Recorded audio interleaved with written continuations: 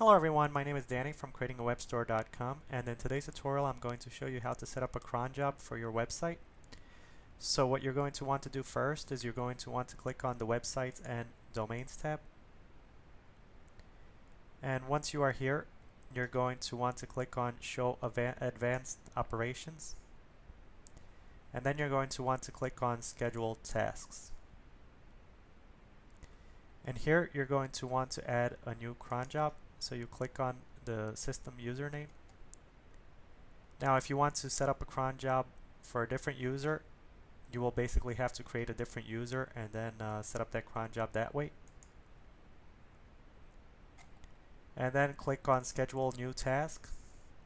And here you will enter the values of your cron job. So if you're having trouble filling out this form, you can use a cron job uh, generator, for example. Uh, this is a cron job generator that I found uh, by Googling it.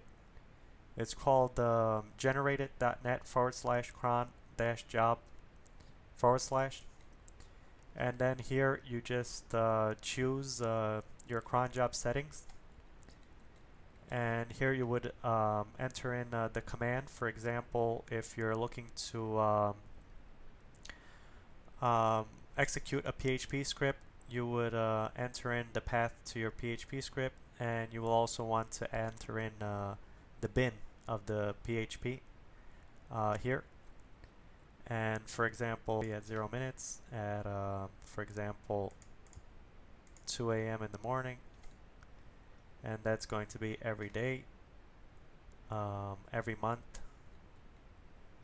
and every day of the week and path of my script. We'll just leave it at that for now. And this is what it would look like.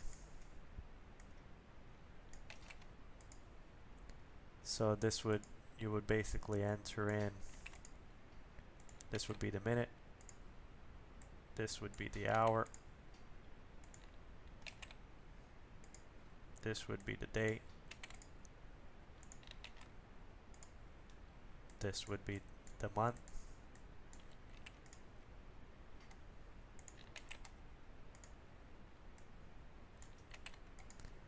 And this would be the day of the week. And then this would be the command. Again remember uh, this is just an example. If you have a PHP script you will need to enter in the path to the PHP script. And in order for the PHP script to be executed you will need to enter in uh, the bin path uh, for your P PHP. And then you would click on OK. And as you can see, it will look the same way. So thanks for watching and stay tuned for more videos. And while you're at it, please visit creatingawebstore.com.